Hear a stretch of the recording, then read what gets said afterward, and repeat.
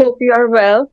I wanted to ask a question regarding uh, the divorce of uh, a person who was angry and uh, he gave, uh, like, he uttered, I divorced you uh, more than three times in the same sittings and in multiple occasions as well. Uh, would that be considered um, as a divorce? Because I read on a website called uh, Farkas.app where it was said that Ibn Taymiyyah and Ibn Qay- Qayyim, Al-Qayyim, uh, they said that if a person is uh, pronouncing uh, in the state of anger, rather intense or mild, in such way that perturbation appears in most of his saying and action, and th- this perturbation prevent him from uh, being reasonable and steady, then his mind and intellect are not altered or he regrets his divorce after his anger da- is down. Such divorce, according to the soundest opinion of scholars, is not applicable. If you could, if you could confirm if the uh, scholarly view of Ibn Taymiyyah and Ibn Al-Qayyim is right on this or not. Alhamdulillah, wassalatu wassalamu ala nabihi wa mustafa wa ba'd.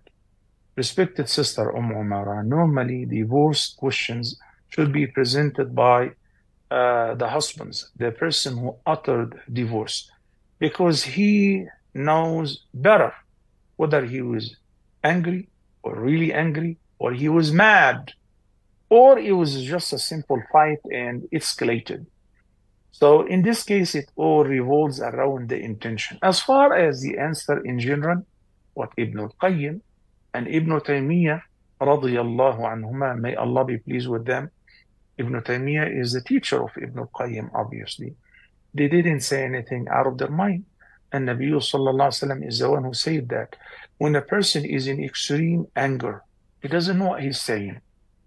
His divorce doesn't count whether he happened to divorce his wife once or 10 times. Under regular circumstances, Ibn Taymiyyah and Ibn al-Qayyim oppose the vast majority of the scholars with regards to the number of times if it happened in the same sitting and the person really means it and is not in anger. This is where they differ. So he says that if a person said to his wife, You're divorced, you're divorced, you're divorced three times, but in the same sitting consecutively, it only counts as one. So now we have two different matters to sort them out.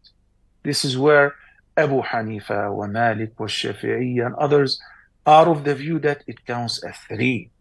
Okay? But Ibn Taymiyyah says it counts only as one because it's in the same sitting. And his opinion is correct, by the way. And it resolves a lot of problems and a lot of uh, matters. But your question is about the state of anger, which again, I'm giving a general answer. And what you read on the website is a general answer.